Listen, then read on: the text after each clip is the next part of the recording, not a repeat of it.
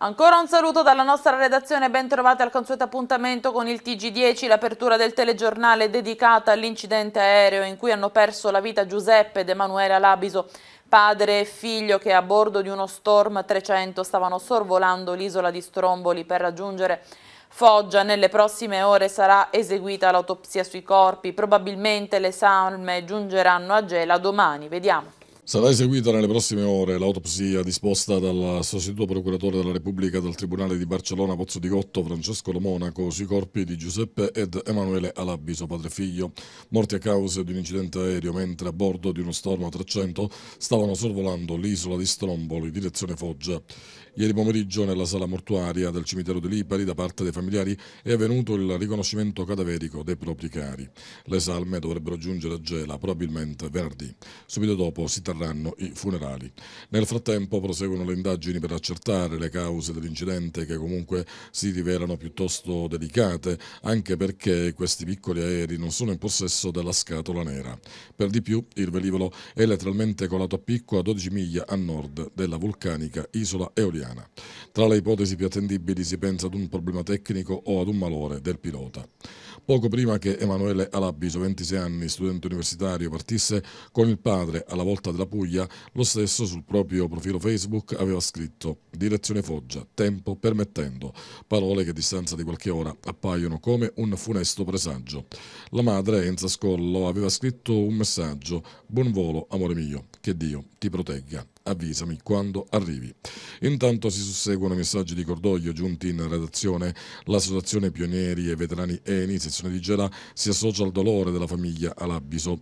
La Fidas Adas sottolinea che nel tentativo di portare a compimento il suo volo della solidarietà, Alabiso aveva dimostrato enorme sensibilità nei confronti della donazione del sangue. La sezione di Gela dell'Atmo, si legge in una nota, perde due carissimi amici e due paladini della solidarietà. Condoglianze anche da parte del Consiglio direttivo della Pubblica Assistenza Procivis. Intimidazione a Niscemi, mani ignote hanno sparato sette colpi di pistola all'indirizzo della macchina di un assessore comunale. Il sindaco Francesco La Rosa dice siamo pronti a dimetterci. Sentiamo. Ennesima intimidazione col fuoco a Niscemi contro un esponente della giunta comunale. Ieri sera mani sconosciute hanno sparato diversi colpi di pistola all'indirizzo dell'auto dell'assessore alla manutenzione, all'igiene e ai servizi cimitariali Giuseppe Giugno, 40 anni, parcheggiata sotto casa in via Borsellino. Due proiettili hanno raggiunto anche il portone dell'abitazione della vittima. Una spirale di violenza inaudita. Così il sindaco Francesco La Rosa. A questo noi rispondiamo semplicemente con una parola che io uso dire sempre. Rifiuto e vado avanti. Se poi è fomentata da qualche soggetto, da qualche politico, da qualcuno esterno, poi questo è lo sfogo, questo è lo sfogo. Però noi continuiamo imperterriti ad amministrare questa città, questa città che è meravigliosa, questa città che noi amiamo. Se no a quest'ora già avremmo detto basta. Nei mesi scorsi al sindaco hanno avvelenato i due cani che teneva nella sua casa di campagna. L'assessore Carlo Tardi, lavori pubblici ed urbanistica, hanno fatto trovare una bottiglia incendiaria davanti al portone di casa a Gela. Al vice sindaco Giuseppe Meli, assessore agli affari generali, cultura e legalità, hanno danneggiato l'auto e ieri sera, come dicevamo, i colpi di pistola alla vettura di Giuseppe Giugno, che è il braccio destro di La Rosa. Se c'è chi non ci vuole alla guida di questa città, ce lo faccia sapere. Io e i miei collaboratori siamo pronti a dimetterci è ora che lo Stato si svegli e che si prenda cura di Niscemi, le cui grida di dolore, dice il sindaco, sono rimaste per troppo tempo inascoltate. Che questo è, deve essere un uh, segnale per far uh, muovere chi di competenza siamo disponibili anche a questo. Guarda, eh, amministrare per forza non va bene, amministrare assieme va bene. Noi siamo per amministrare assieme e quindi, quindi c'è anche questa, questa possibilità. Poi in un momento di comportamento sport poi si può dire di tutto e di più. Oggi ho avuto i primi incontri con le forze dell'ordine che, sono, che ci hanno dato la loro solidarietà e sono disponibili e sono presenti nel territorio. Io ringrazio il Maggiore Marra stamattina, il commissario Monaco ieri sera, si ha sentire un po' tutti. Vuol dire che se qualcuno ha, alza le barricate, noi continueremo con la testa d'ariete finché non sfonderemo anche questa porta che è quella della trasparenza, della legalità, del vivere comune. In un momento in cui insieme si sta svegliando nelle, nelle proprie, tutte le proprie capacità, intelligenze, in un momento in cui la cultura sta prendendo forma attraverso la realizzazione del museo, della casa del volontariato, del bene confiscato alla mafia, non possiamo abbassare per nulla i toni, anzi li terremo ancora più alti perché abbiamo l'esigenza di cambiare volto ed iniziare una nuova storia. Nel condannare il grave atto intimidatorio subito dall'assessore al comune di Niscemi Giuseppe Giugno si esprime solidarietà allo stesso e si denuncia la preoccupazione in città per queste azioni che vanno a turbare sia la serenità personale e familiare di chi è oggetto di questi fatti incresciosi che quella di tutti i rappresentanti istituzionali e sociali locali. Lo scrive in una nota il Partito Democratico di Niscemi. Chiediamo agli organi di polizia e alla magistratura di intensificare il loro operato per garantire sicurezza e tranquillità sia ai rappresentanti istituzionali che a tutta la nostra comunità.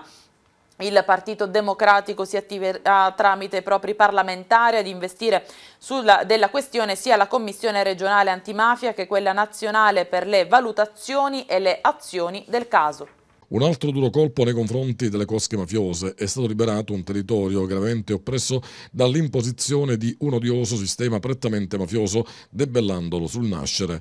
Renzo Caponetti, presidente della locale associazione anti-racket Gaetano Giordano, è fiero del risultato ottenuto dal blitz eseguito da polizia e squadra mobile che hanno decapitato una organizzazione mafiosa legata al clan Rinzivillo Emanuello.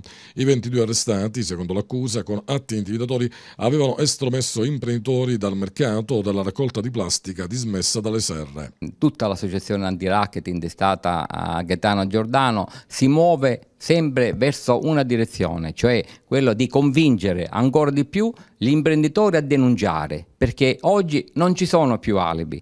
Con questa ennesima operazione fatta dalla polizia e dalla squadra mobile di Caltanissetta, dalla DDA e dal eh, dirigente del commissariato PSDG, la dottor Francesco Marino, si è arrivati veramente a un risultato eccellente perché sul nascere si è sgomentata, è stata annientata, annullata una organizzazione di malavitosi. Questa è mafia, signori e aveva messo in condizione degli imprenditori di non poter svolgere il loro lavoro serenamente. Ma è stato facile per lei convincere gli imprenditori a denunciare oppure ci sono state anche delle resistenze? Non è mai facile superare la paura e noi abbiamo il rispetto per tutti coloro che hanno paura.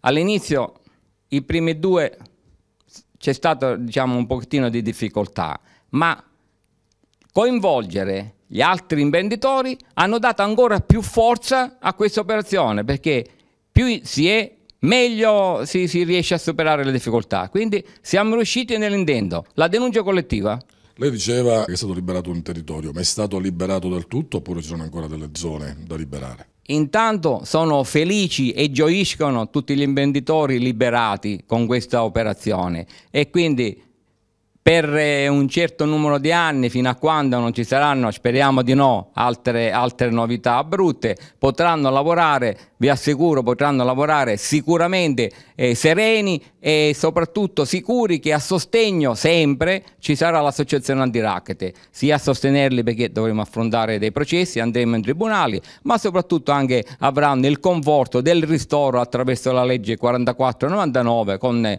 soldi che saranno eh, sicuramente avranno bisogno, tutti gli imprenditori avranno bisogno per tutti i danni che ha subito e un anno e mezzo di, di non aver potuto lavorare. All'associazione anti-racket per il brillante sostegno fornito alle vittime sono giunti i complimenti del ministro degli interni Angelino Alfano e del capo della polizia Alessandro Panza. Denunciate senza ombre di dubbio, senza problemi, con serenità e tranquillità. Noi siamo dalla parte giusta, loro sono i mafiosi e loro devono pagare le conseguenze.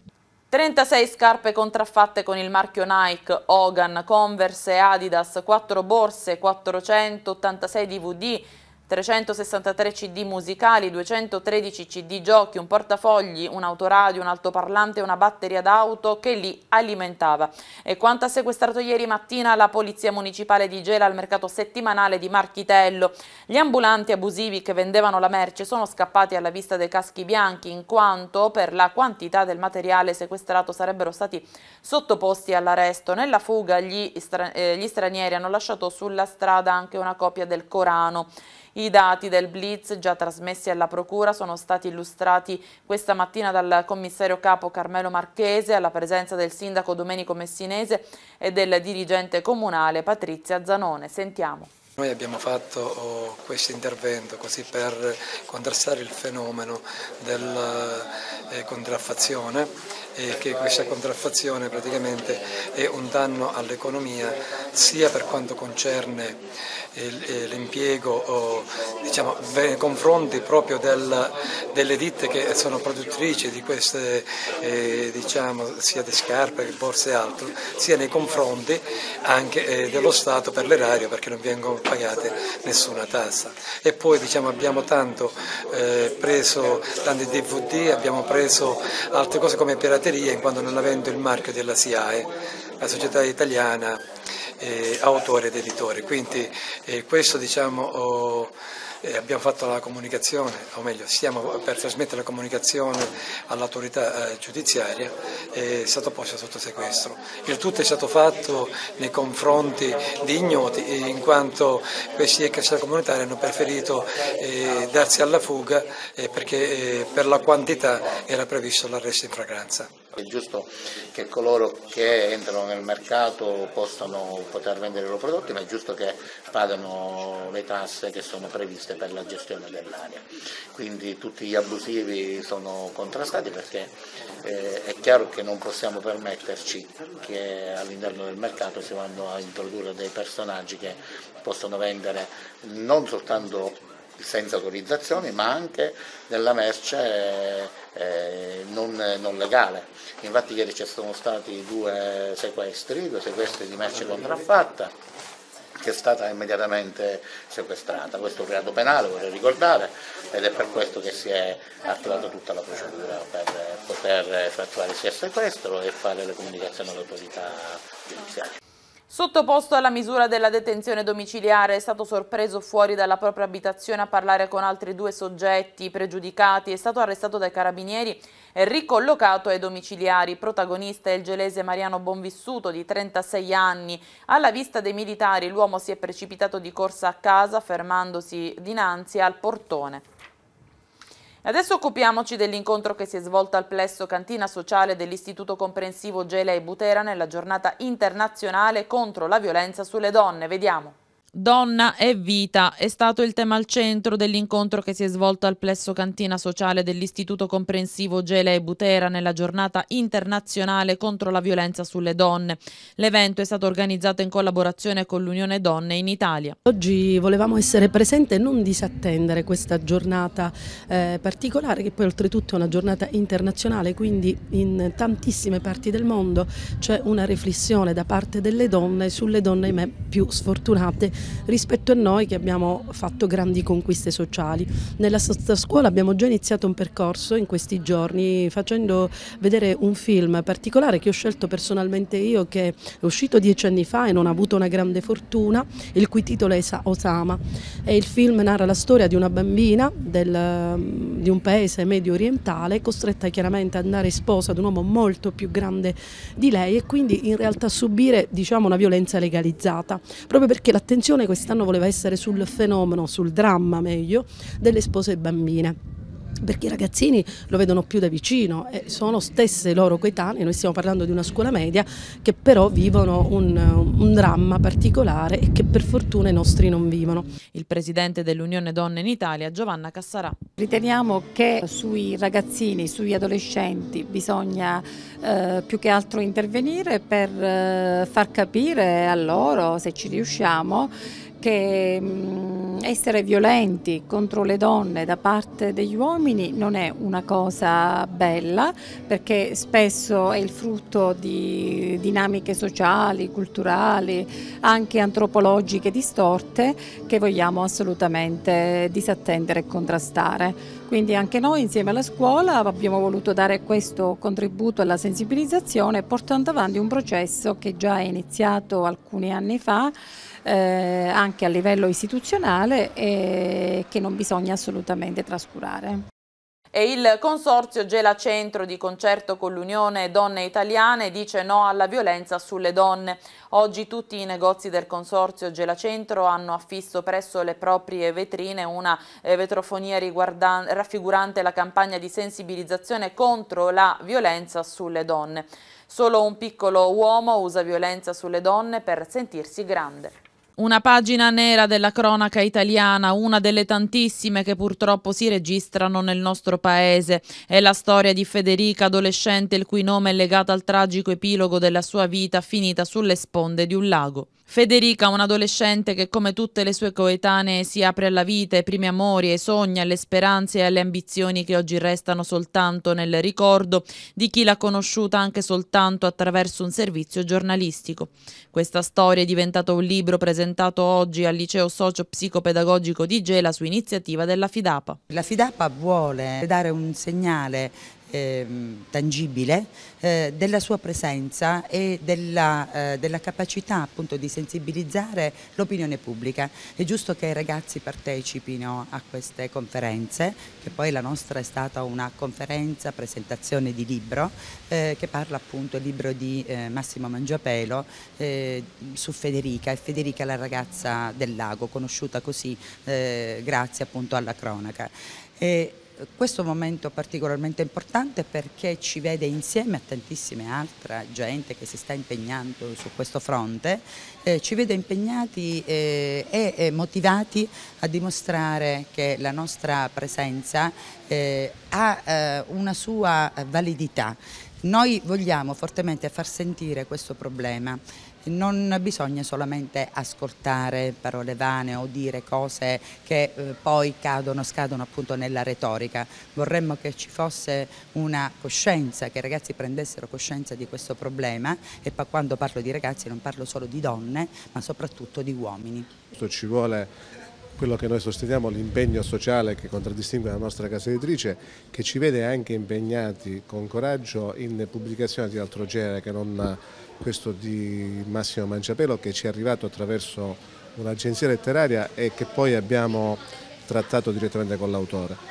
Abbiamo visto che era un uh, argomento molto importante, un argomento che già in casa editrice noi abbiamo trattato con, altre, eh, con altri autori e quindi abbiamo voluto contribuire con il nostro impegno e con la nostra professionalità a quello che è il messaggio che bisogna lanciare in, eh, nella comunicazione per quanto riguarda Ehm, quello che dovrebbe essere eh, la difesa nei confronti delle donne. Sarà presentato oggi in occasione della giornata mondiale contro la violenza sulle donne il libro di Emma Laspina dal titolo Come fossi una bambola, appuntamento previsto alle 17.30 nella sala consiliare del comune di Gela. L'iniziativa è del Sor Optimist dell'Inner Will della libreria Mondadori in collaborazione con il comune. Domani alle 18 nell'aula magna dell'istituto Quasimodo si terrà la presentazione eh, della silloge poetica, l'assenza di Alfonsina Campisano Cancemi, autrice catanese. Eh, l'iniziativa è eh, promossa dal Convegno di Cultura Maria Cristina di Savoia presieduto da Flora Montana.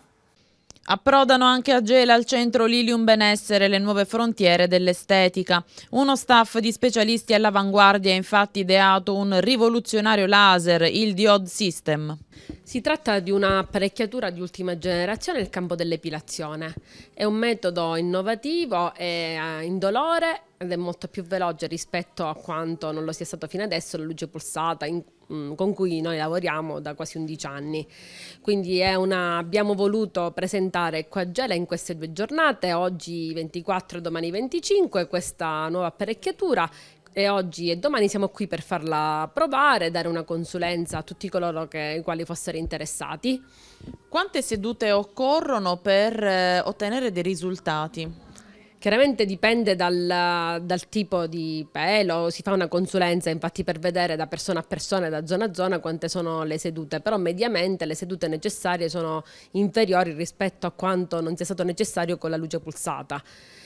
Il, quello che è importante comunque è che è un metodo assolutamente innovativo, va a risolvere una serie di problematiche, ad esempio chi soffre di follicoliti, chi ha problemi comunque di allergia o comunque di reazioni con la cera, è un metodo assolutamente eh, rivoluzionario ed è sicuramente indicato anche per le persone più giovani, quelle che iniziano anche a trattare l'epilazione nel giusto modo. È corretto dire che se si pensa ad un trattamento nel corso dell'inverno per l'estate prossima certamente eh, l'epilazione sarà un pensiero in meno? Assolutamente sì, questo è il periodo giusto per iniziare con l'epilazione. Il periodo ideale è l'inverno perché abbiamo il tempo per trattare in tutte le zone. Il pelo è assolutamente alternativo agli altri metodi perché è molto molto molto migliore rispetto agli altri. Chi lo prova assolutamente lo potrà constatare.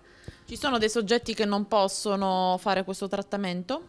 Allora, a dire il vero, in questo caso specifico, la, il laser addio dovrà, va ad affrontare anche delle situazioni con cui non si poteva intervenire con la luce pulsata, ad esempio i fototipi più scuri, in cui avevamo qualche difficoltà perché i parametri dovevano essere abbassati. Invece con laser addio interveniamo anche su questi soggetti.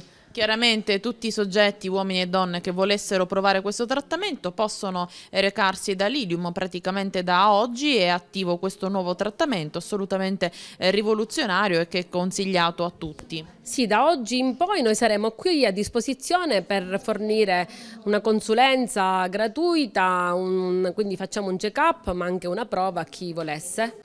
Bentornati in studio per la seconda parte del nostro telegiornale La dignità del reo e il suo inserimento. È il titolo del convegno che si svolgerà a Gela venerdì 27 novembre dalle 15.30 presso il Palazzo di Giustizia e sabato 28 novembre dalle 9.30 presso l'Aula Magna del Liceo Classico Eschilo. Gli incontri sono stati organizzati dal Lions Club di Gela presieduto dall'avvocato Antonio Gagliano in collaborazione con l'Ordine degli Avvocati di Gela e saranno spunti di riflessione sul volume eh, di Giovanni Maria Flick, Elogio della dignità. Tanti gli ospiti che interverranno nelle due giornate, i cui lavori saranno presieduti venerdì dal Presidente della Corte d'Appello di Caltanissetta, Salvatore Cardinale, e sabato da Don Giuseppe Costa, direttore della libreria editrice eh, vaticana. Venerdì gli ospiti saranno introdotti dal Presidente del Tribunale di Gela, Paolo Fiore, dal presidente dell'Ordine degli Avvocati Ignazio Emmolo e dallo stesso presidente del Lions Club Antonio Gagliano. Interverrà il docente di diritto pubblico dell'Università di Palermo Lillo Fiorello e eh, l'avvocato Giacomo Ventura, il presidente della Camera Penale di Gela, il procuratore Lucia Lotti, il docente di diritto costituzionale Angela Musumeci e l'autore Giovanni Maria Flick. Sabato, dopo i saluti del sindaco Domenico Messinese e del coordinatore del Lions Club Francesco Freni Terranova relazioneranno il direttore della casa circondariale di Gela, Gabriella Di Franco, l'avvocato Salvatore Psaila e il dirigente scolastico Gioacchino Pellitteri.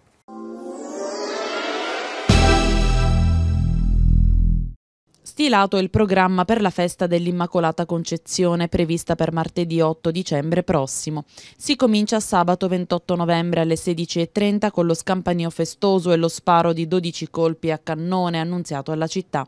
Alle 18 l'Eucarestia presieduta da Don Raimondo Giammusso nel 25 anno di sacerdozio e alle 20.30 veglia di Avvento e solenne Lucernaio animata dal movimento giovanile San Francesco.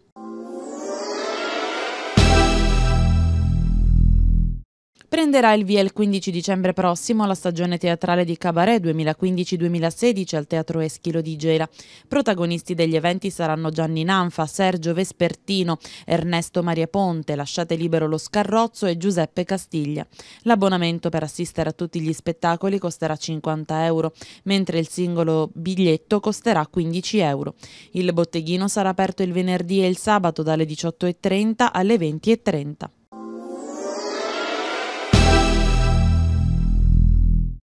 Arriva il grande jazz a Gela, appuntamento al Teatro Comunale Eschilo. Venerdì 11 dicembre Francesco Caffiso in duo con Mauro Schiavone. Giovedì 17 dicembre Antonella Ruggero. Venerdì 8 gennaio Francesco Buzzurro e venerdì 29 gennaio Fabio Concato. L'inizio degli eventi è previsto per le ore 21. Per informazioni bisognerà rivolgersi al botteghino dalle 17 alle 20. Per informazioni bisognerà chiamare i numeri di telefono 0933 911892 oppure 345 5880 580.